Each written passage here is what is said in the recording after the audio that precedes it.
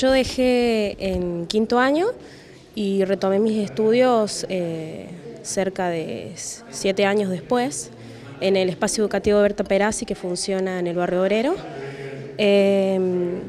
venía de, un contexto de, eh, escolaridad más eh, adaptado a lo curricular, menos estructurado que un SEDMA y cuando llegué me encontré con otra dinámica de trabajo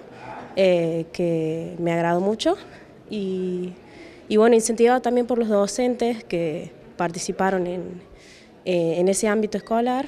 que conocí y que me marcó mucho, la verdad, una hermosa experiencia.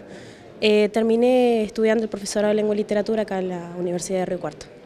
O sea que vos podés dar el ejemplo de que una persona, un joven adulto que está estudiando en un SEDMA, también puede tener la universidad como una aspiración, como un paso a seguir.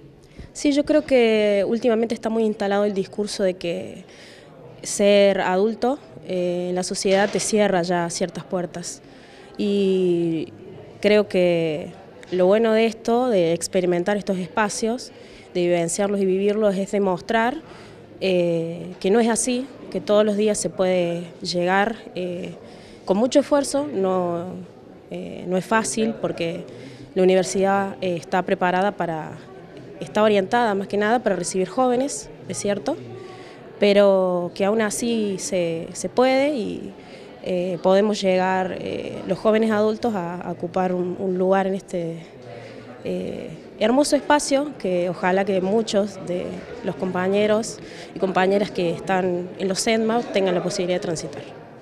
Hoy que ya estás viviendo tu vida universitaria, ¿realmente sentís que en las aulas se noten estas diferencias de edades o simplemente es una creencia que uno tiene antes de entrar a la universidad y después se encuentra con otra realidad? Bueno, en mi caso muy particular también,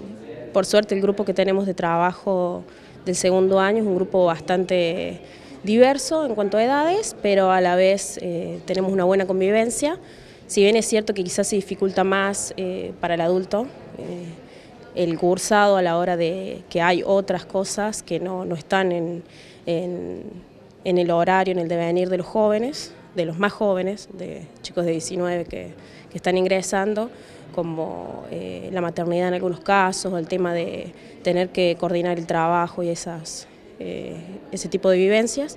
pero por suerte no, en, en la carrera que estoy cursando y en el año que estoy cursando, la verdad que dentro de todo la convivencia es bastante amena.